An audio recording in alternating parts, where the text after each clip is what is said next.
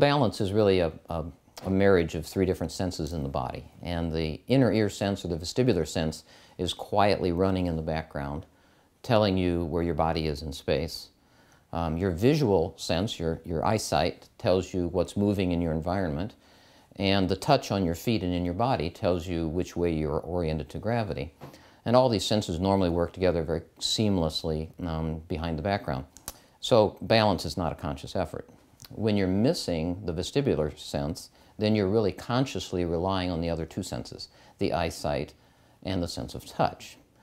Um, if we could give this person an, an, additional third sense of touch coming from somewhere else, we felt that the brain would be able to use that mm -hmm. and to some way make up for the vestibular sense that they were missing. Mm -hmm. This is a tactile device, meaning it's touch, and what the device consists of is a small gyrometer which can sense movement of the body or the head, in this instance the head.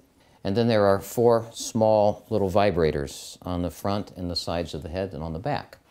And so when the person would lean in any direction, forward or backwards or left and right, these little sensors would start to tap the head.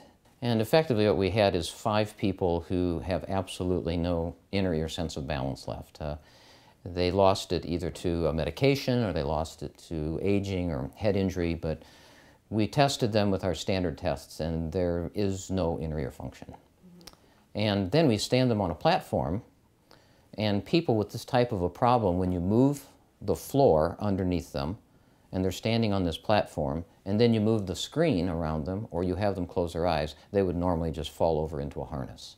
So they, they just don't know where they are in space. Mm -hmm.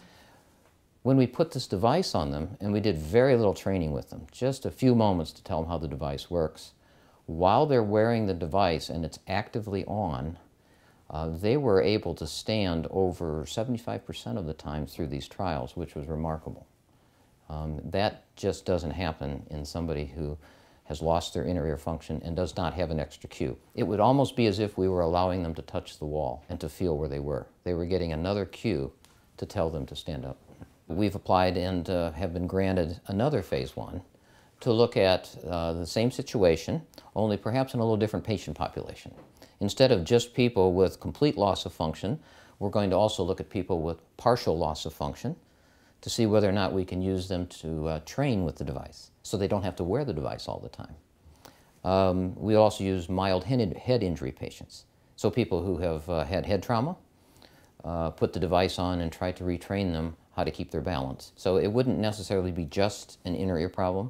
Since it was so potent with the people who'd lost their inner ear function, we felt that it might be a good training tool for people with less serious injury.